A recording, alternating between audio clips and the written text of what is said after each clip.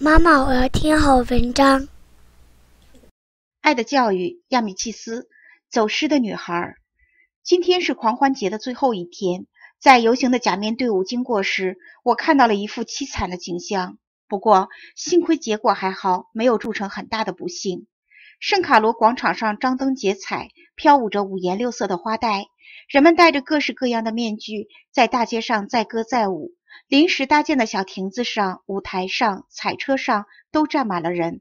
这些人装扮成小丑、武士、厨师或牧羊人的模样。彩车上旗帜高悬，一辆接一辆的经过广场，人们疯狂地叫喊着、打闹着，广场上一片混乱。当我们的马车驶进广场的时候，一辆华丽的彩车正经过我们的前面。那辆彩车非常漂亮，全身都用手工编制成的蔷薇花装饰着。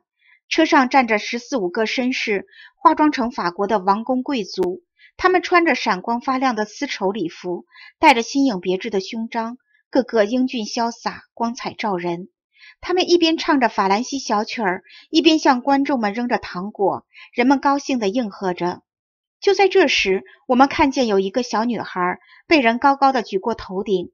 小女孩大概四五岁，看上去很可怜，他简直像抽筋儿一样，两只小手在空中乱抓乱挠，哭个不停。那个人分开人群，走进绅士们乘坐的彩车。其中的一个绅士将身子探了出来。那个人大声地对这位绅士说：“请您帮帮这个孩子吧，他和他的母亲走散了，请您抱着他，他的母亲应该就在附近，那样他就会看见这个孩子了。除此之外，再也没有别的法子了。”那个绅士伸手接住了这个孩子。绅士紧紧地抱着小女孩，小女孩还是不停地哭。大家停止了唱歌，绅士们摘下面具，彩车缓缓前行。几乎就在同一时间，在广场对面的那一侧，小女孩的母亲发疯似的用胳膊拨开人群，寻找着自己的孩子，嘴里不停地哭喊着：“玛利亚，我的孩子，我把他弄丢了，他被人拐走了，我的孩子一定被踩死了。”那个女人在人群中横冲直撞，终于打出一条道路来。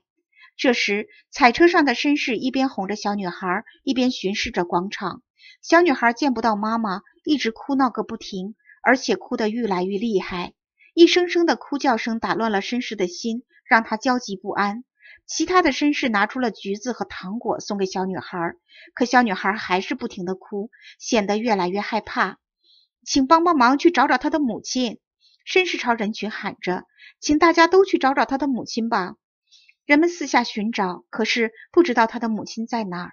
终于，在距罗马街口不远的地方，有一个女人正向彩车飞跑过来。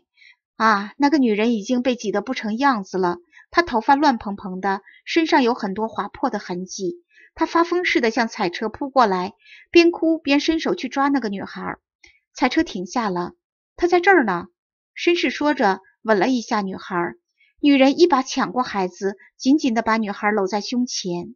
这时，孩子的一只小手还被绅士握着。绅士摘下自己的一枚戒指，放在女孩手上。孩子，这个送给你。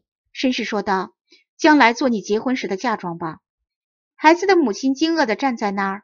那个绅士又戴上假面，他和同伴们又开始唱起歌来。彩车又缓缓地前进了。